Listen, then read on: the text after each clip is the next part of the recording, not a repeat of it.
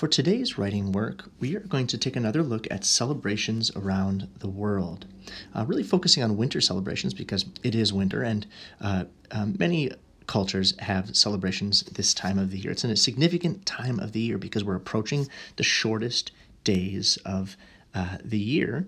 And uh, in the northern hemisphere, anyways. Um, and particularly in colder climates, uh, these are very dark, cold days, and we like to uh, try to brighten things up a bit if we can. So, uh, this week we're going to be uh, using some prompts here to talk about uh, celebrations around the world, and we're actually going to compare a couple different celebrations. Um, so, to get started, I actually recommend just opening up the prompt. we're going to make a copy here.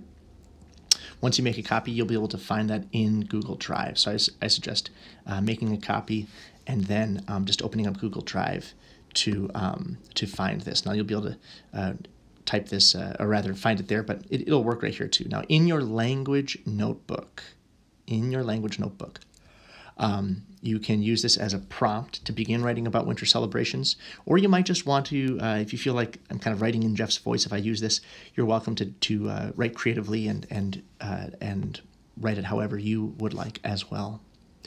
So to begin with here, uh, it says, I read two articles about winter celebrations around the world, blank and blank. So those would be the two celebrations you read about.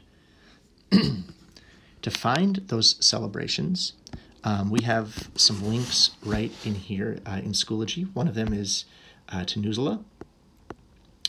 And um, if you open Newsela, now obviously you're going to have to sign in. Um, and I may have some trouble with this. Uh, there we go, okay. So here's a collection about winter celebrations right here in Newsela. And um, we have a variety of um, celebrations from different cultures. You can show, show more results. And I uh, suggest that you uh, choose, or, or actually, really kind of asking you here to choose um, one culture that you're familiar with, and perhaps one culture that you're less familiar with. Um, and then again, the prompt says, I read about one winter celebration that I know a little about called Plank and uh, you may choose a celebration that you already know a bit more about. Um, maybe you know a bit more about um, Kwanzaa or uh, Ramadan or um, Christmas. Um, so that's going to be the uh, celebration that you write about first.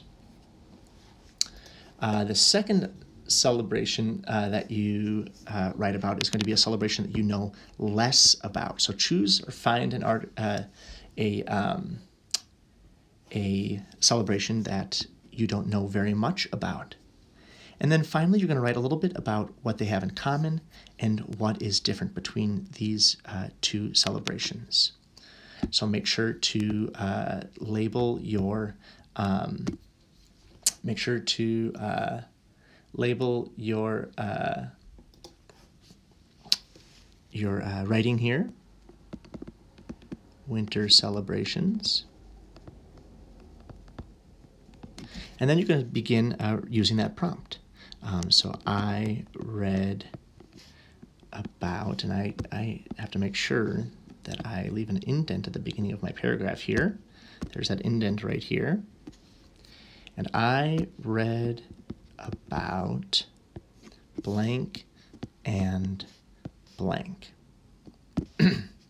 Notice I'm capitalizing the beginning of my uh, uh, sentence using a period at the end. Uh, when you're done with this, you can submit it on Schoology.